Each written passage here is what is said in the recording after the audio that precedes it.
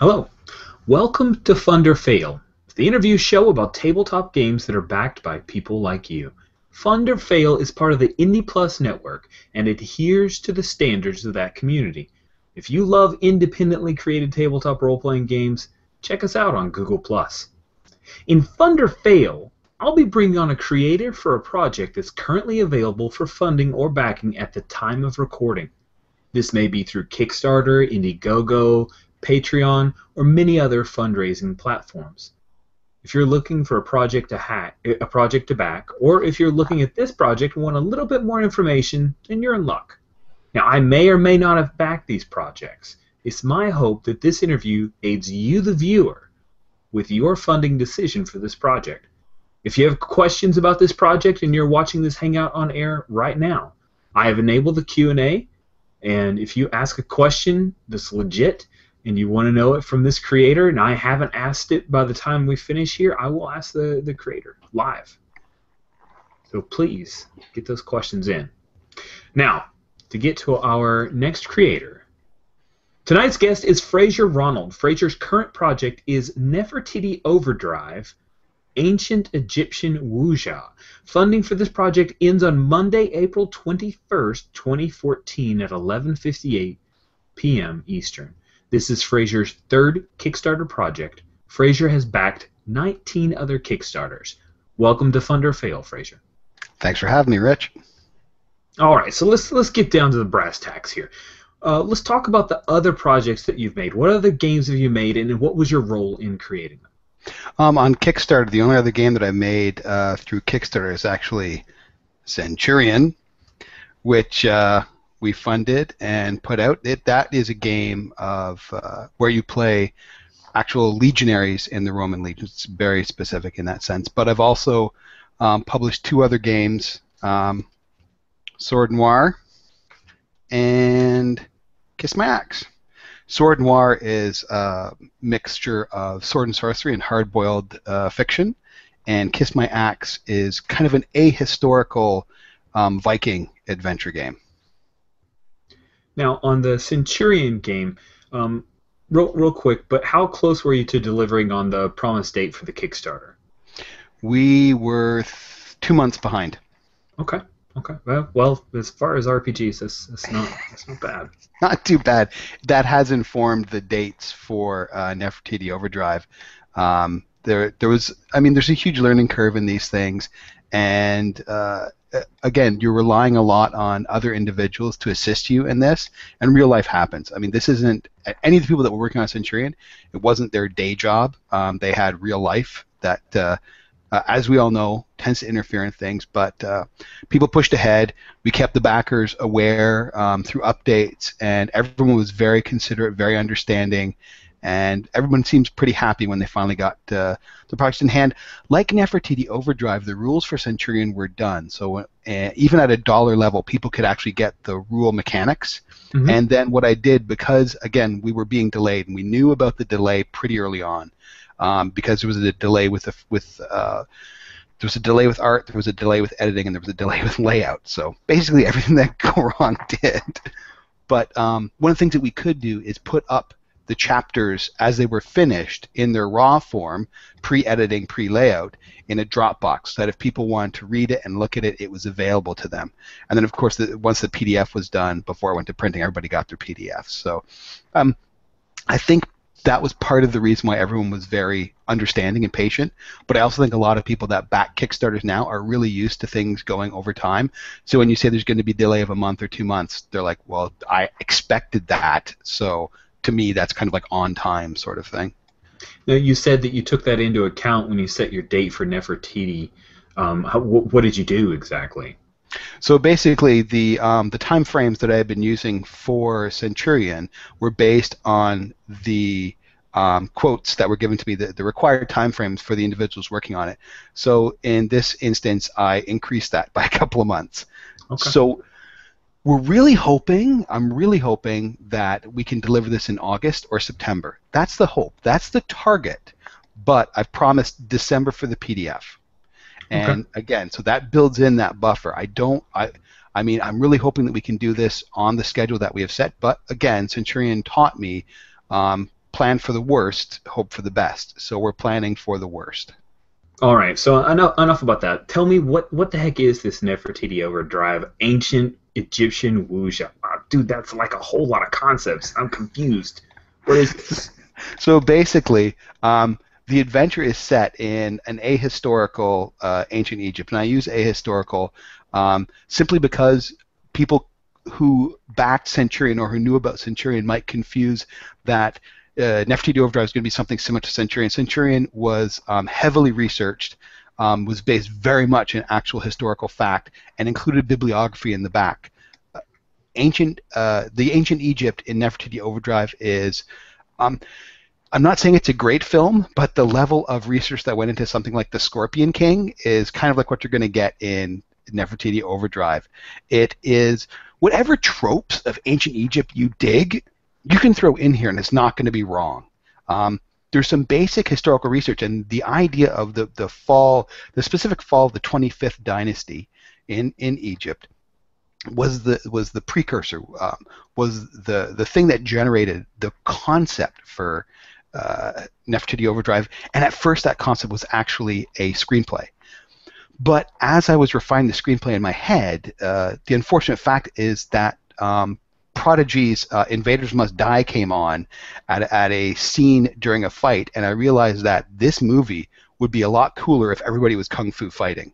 Um, and then I thought, wow, it would even be better if they if you had not just Egyptians, but you had like Jet Li as as a Shaolin monk and Gina Torres as an Amazon in here doing the kung fu fighting. And once that hit me, I went, oh my gosh, I've got to play this game. So in order to play it, I have to build it. So that basically what happened with ancient Egyptian wuxia is the setting is ancient Egypt, but the kind of ancient Egypt you might get in a comic book or a Hollywood movie, and then the fighting in it is forget physics, forget common sense. If you can imagine it, you can do it. Finish this sentence for me.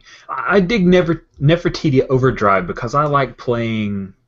Now we can parse this sentence a couple of ways, but uh, I think the best way to finish it would be um, I would dig Nefertiti Overdrive because I like playing insane action scenes. Now, if you want to go with uh, other role-playing games, for example, then you could finish it. I would dig Nefertiti Overdrive because I like playing Wushu, or I like playing Dragon Fist. Okay. Okay. Who's doing the art? Uh, it's going to be Kieran O'Gorman who did the art for who did some of the art for Kiss My Axe and did all the art for Centurion. And there's three pieces that are up right now on the Kickstarter page. There's one other piece that's done that I haven't shared yet, but is totally awesome. Um, and again, he is uh, he's worked in comics, he's worked in role playing games, he's worked in board games. You can find his work at Mayhem Graphics. Okay. And you said you've got four pieces. How much of that is complete? Those How four much do you have? Yeah, those four pieces are complete. The idea is we're going to have there's seven pre-generated characters. The seven characters that I imagined in the screenplay are going to be pre-generated, and you can play those characters. Um, and there's going to be uh, a, a, portrait of each of them. Um, so you'll kind of get an idea of what the characters look like. There's going to be a few action scenes, uh, and um, there's going to be one setting kind of picture. So we're looking at nine pieces of art from Kieran. Then there's also going to be some uh, cartography. There's some maps. I'm hoping to get Mark Richardson to do it. Um, we, I've already talked to him about it, so it's pretty good. I haven't started on that yet because the reason for this Kickstarter is to get money to pay for art and maps. Um, that's the that's something I can't do unless you like stick figures. So those maps haven't been done yet at all. But we've got four of the nine pieces of art, and luckily, uh, Kieran has been able to produce very very quickly. So I have no concerns with hitting the target for the art and the maps. Okay. And what about an editor? Do you have an editor lined up?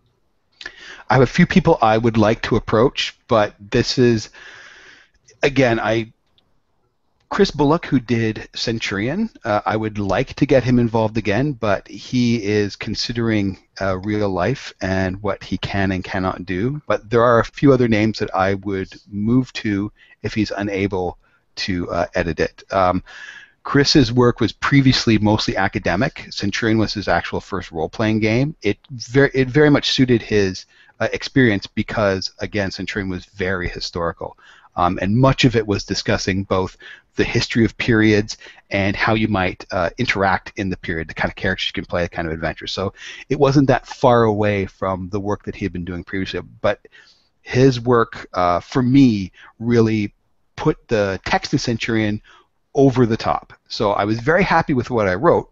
Of course, I'm egotistical that way, but he made it that much better. So I'm hoping to get him back. Um, but again, this isn't anybody's uh, day job, and it might be something that uh, Chris doesn't feel uh, suits his style. Uh, if so, there's a few other people I would like to approach. But again, that's that's going to happen after we fund, after we fund, not if. And um, then then Chris will have to make a decision, and then I can move forward from there. Okay. Um, you, you you said that you've got the well, maybe I, you didn't say that. You talked about Centurion, how how you had already gotten the rules done. Rules are done for Nefertiti Overdrive. Yep, and again, if you back it at one dollar or you back it at seven dollars, or you back it whatever, you'll have access to a Dropbox which includes the playtest rules, the um, uh, previews of the pre-generated characters, and a what I call a one pager, which is an adventure kind of hook idea outline that fits onto one page. Um, now the so the, the, I still call them the playtest rules because while it is a complete game and with the rules that you get uh, in the playtest rules you can play it, things are changing. Um, the game is still in playtest, and uh, it probably it will finish its playtest at the time of funding. So basically, the end of April is when our playtest phase should be done. Um, and but the changes that have been happening recently for the last couple of months, all the changes have been pretty minor. Um, the biggest change was we instituted a change in how uh, uh, how luck worked, um, and that was the biggest change in the last few months. Okay. I've got a question from the audience that I want to uh, uh, slide in here because I think it's perfect. Pete Figtree asks, are you using, for Nefertiti Overdrive, are you using your house system that you use for uh, Sword Noir and, and Kiss My Axe, or something something different? It's very similar to the um, what we are calling the Sword's Edge system that is the backbone of Kiss My Axe and Sword Noir. Um, the thing that is a through line for all of all of my games, including Centurion, are qualities and qualities are basically single word or short phrases that describe the character. So, for example, the um, the Amazon is the hunter and the healer. Um, those are two single words that can encompass a lot of different things, and that's an example of a quality. But a quality can also be, um, for example, a weary traveler, scoundrel, um, the perfect soldier. Everything is a weapon. These are all qualities that are from the different characters in uh, Nefertiti Overdrive. So that remains the same. That's something that I've used. And I really like it because it allows very easy customization of characters, which is something as a player that I always desire. I really want to be able to make the specific kind of character that I want. And I find that qualities are the best way to do that. Number one, you're not constrained by anything, so it's not a list of skills that you have to choose from. Um, so if you want, so for example, um, the, while there are pre-generated characters in Nefertiti Overdrive, there is also a character creation uh, mechanic that's uh, so you can build your own. And so if you wanted to play, for example, the Grey Mouser, concept could simply be the Grey Mouser.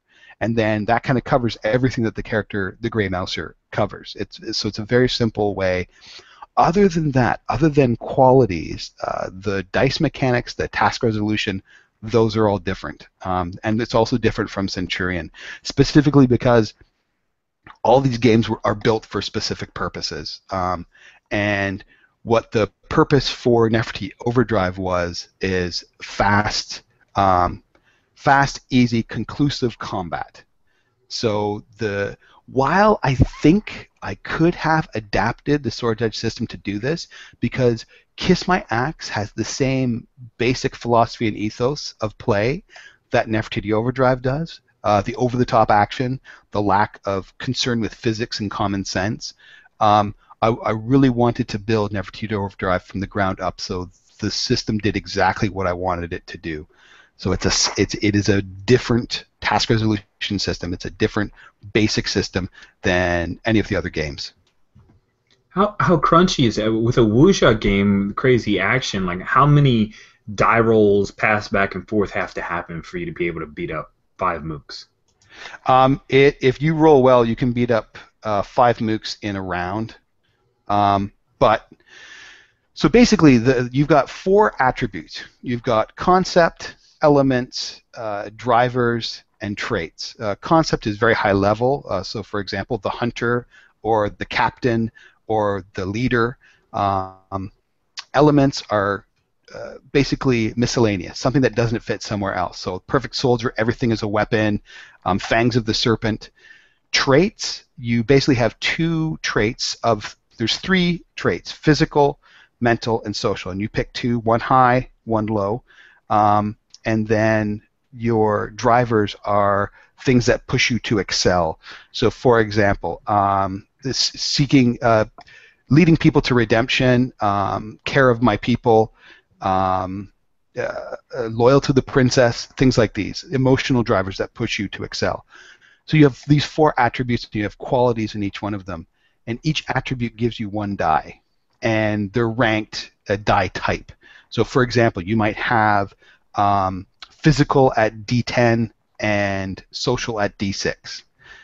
So if in this combat you explain how you're using physical, for that that attribute gives you a D10 to use in the task resolution. So you're going to get four dice.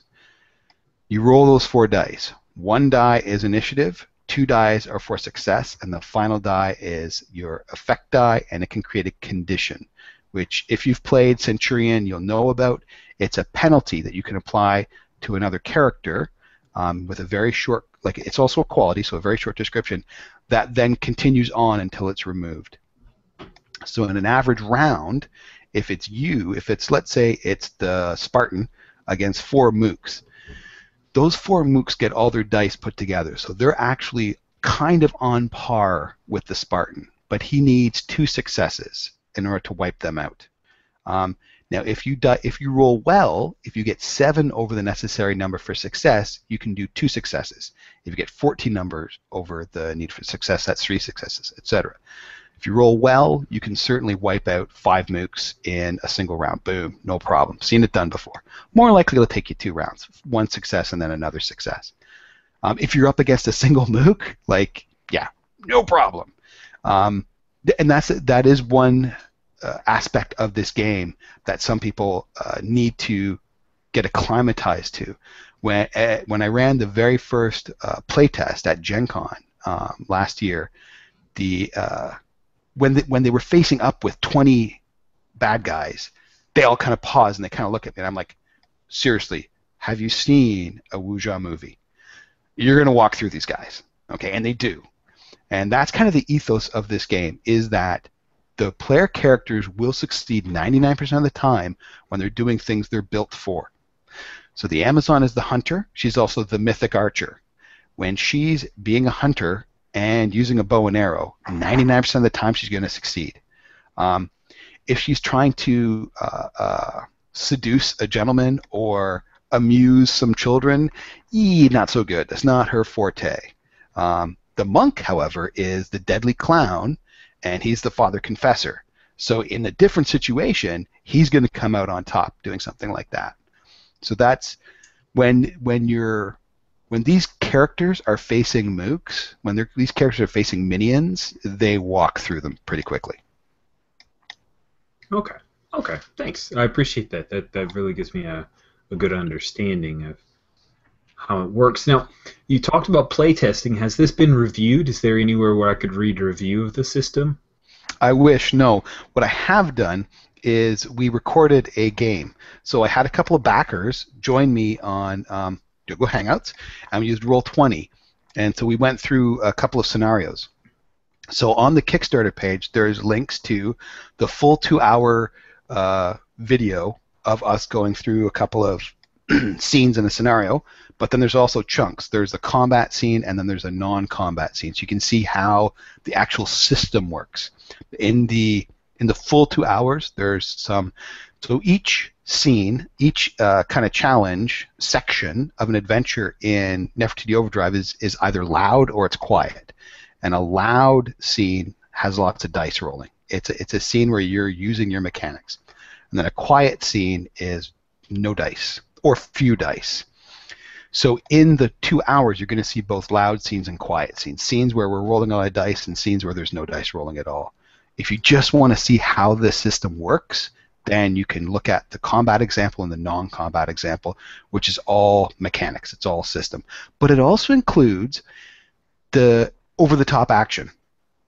Both concept and elements are what's called action attributes. There's action attributes and standard attributes.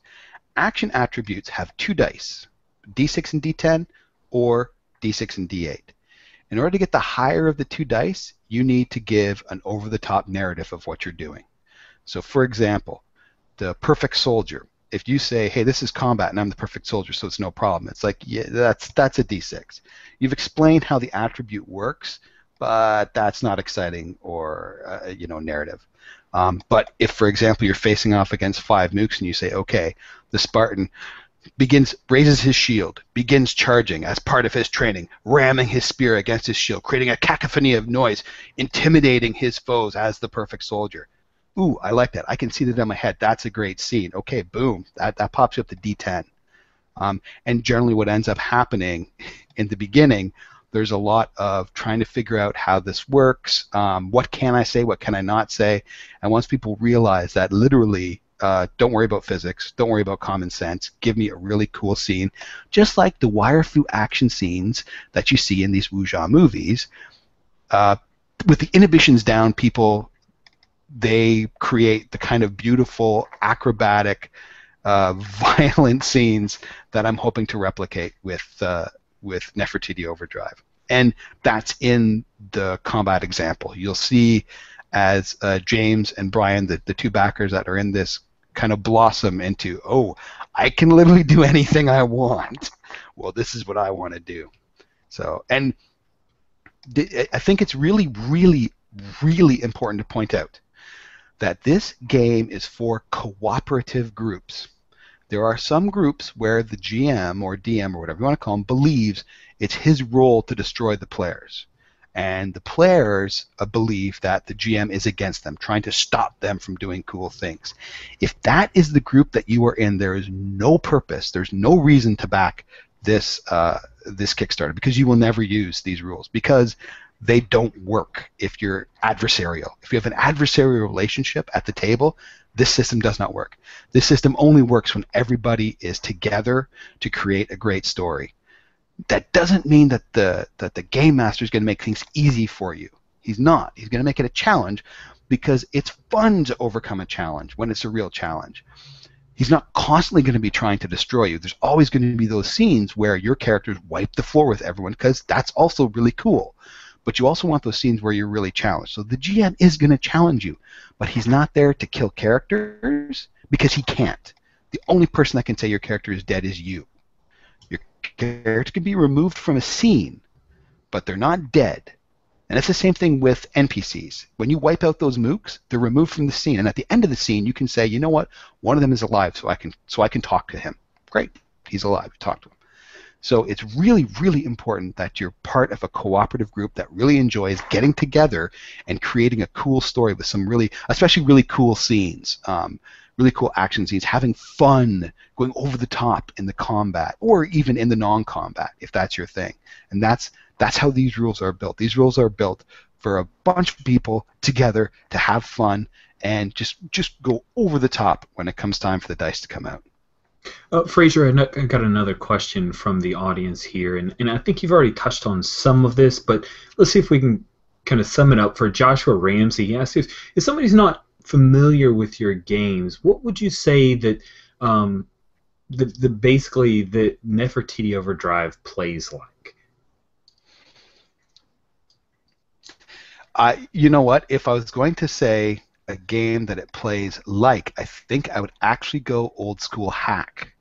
Now it's a slightly different ethos. It's a it's it's also very different in the in the customization that's available but it's a very simple system that rewards uh, uh, cooperative action and amusing the other players. Um, and that, if you enjoy playing old school hack, um, again, it's it's a simple system that's cooperative and l- light in both rules but also perspective. Um, you could certainly play Pride and Prejudice or War and Peace with Nefertiti Overdrive, but that's not what it's really built for. It's built for Hero. Um, it's built for Ong Bak. It's built for Crouching Tiger, Hidden Dragon. Um, there's nothing to stop you from playing War and Peace with it. However, it's a light game, uh, and kind of like old school hack in that it works best when you're just there to have fun. In in the quiet scenes, you're going to have a chance for your characters to grow, to do the role playing, to do something dramatic. But there's also it, it also expects you to then, when you get into the fight scenes, to go nuts. So I would say if it plays like anything, it probably plays like old school hack. But I'm also biased because I love old school hack, so I hope it plays like old Who school Who determines the the quiet versus the loud scenes? Is that a GM determination? Yeah. So the GM, like most traditional games, the GM is building the is building the adventure, and they're there to put some kind of structure in the story. And there's no requirement to have uh, loose stories or, or loose adventures. It's it's how I do things, and it's how I would advise to do things because another of the pieces of philosophy in Nefertiti Overdrive is don't ask me, tell me. So in Nefertiti Overdrive, you never ask, is there a tree? You say, there's a tree.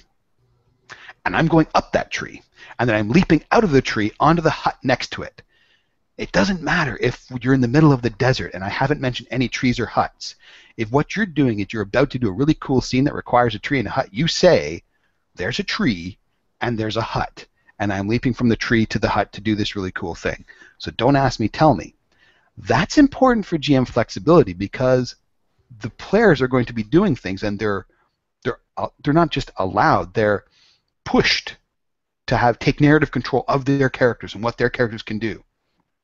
So for example, if in your adventure you say the only way that these guys can find this uh, important individual is through this middleman, but then one of the players says, "Oh, I know that guy from when we served here."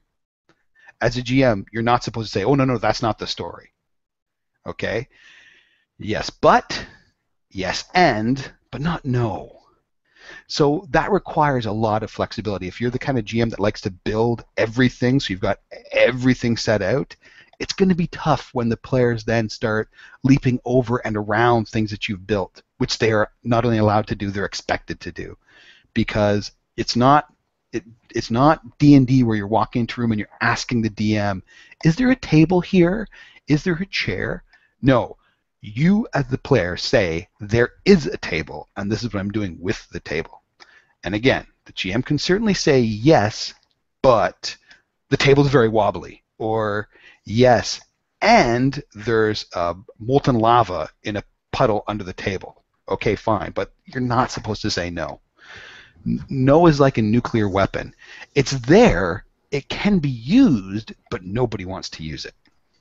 And this this is te- this is in the text, right? This is this Yes. whole idea. Do, is this GM advice or is this mechanically enforced? it's GM advice, but the there's nothing. So again, there's because let me restart that. It's GM advice because this works for a cooperative group. There is very little structure for building adventures. There is how I do it. There's two uh, included adventures to show how it can be done, but because every GM style is different, it's very difficult to give strict uh, strict rules as to how things are done. All of the rules for Nefertiti Overdrive fit in 10, 8, 8.5 by 11 pages. Um, and if you remove the example text, it's maybe 9. It, again, it's a very light system, and it's trying to remove um, com- it's trying to remove complexity, number one, because we want it to be fast and loose. But if you're in a cooperative group, which this really does require, the the need to shackle either the players or the GM is absent. So in the rules as written, in the this is how you play the game section, there is GMs can say yes and yes but, but they should not, not cannot, should not say no. So that is there in the rules as written. But again, it's it's pretty tough to. I mean, I could. I'm sure I could mechanically put something in there, but then the game master would have to enforce that rule, or the players would have to rebel against the game master for not enforcing the rule. So uh, it's it's it's in there, but it's not mechanically in there. Okay. Okay. Um, all right. Well, at the time of this recording, Fraser, you're sitting at uh, this is in Canadian dollars, one thousand nine. I have no idea what that is in American dollars, so I'm just going to say Canadian. Like three cents. one thousand nine hundred and thirty Canadian dollars against the goal of five thousand, and you've got twelve days to go. What happens if this fails? If you can't, if if you don't make the the pledge drive, what what happens then, Fraser? I've got two choices. Um, actually, I've got three choices. One choice is just to let it go. Um, that one of the beauties of Kickstarter is that this allows us to test the market. Um, I think I've got this great idea, and I think it's awesome, and everyone that's played it loves it. So I strongly believe that this is a, a great game that if it gets out there, people would love. But the market might tell me something different. Um, so if I don't make the five thousand dollars, one choice is simply say, well, this is this is a project that failed, and hopefully I can reuse the the art that I paid for in something else. Um, I can also uh, stick with what I have now, the investments that I've made, um, and not get the maps and the other art and that sort of thing, and, and publish it as is. Um, that's possible, but again, also there's nothing to stop me from rejigging. So, for example, I might uh, remove maps, lower the amount of art I have, um, try to cook a deal on layout and editing, and try Kickstart again at a lower price. I mean, that's a possibility too. Um, and it would really depend, I think, on where I end up. Uh, if I'm like four thousand five hundred dollars, I think that tells me to give it another shot with slightly lower costs. Um, if we don't see much more movement than what we have now, or if people start pulling out, then I think that tells me that there's there's either publish it now in, in the form that it's in and try to make back the money that was invested in already, or just let it go. Um, and again, it it'd be tough to let it go from from the work you put into it, but the market might be telling me something. And uh, if if you study business at all, which I don't, but my wife does, um, there's there's something called the sunk cost fallacy, meaning if you've already spent the money, it shouldn't impact on your decision. That you need to make that money's gone.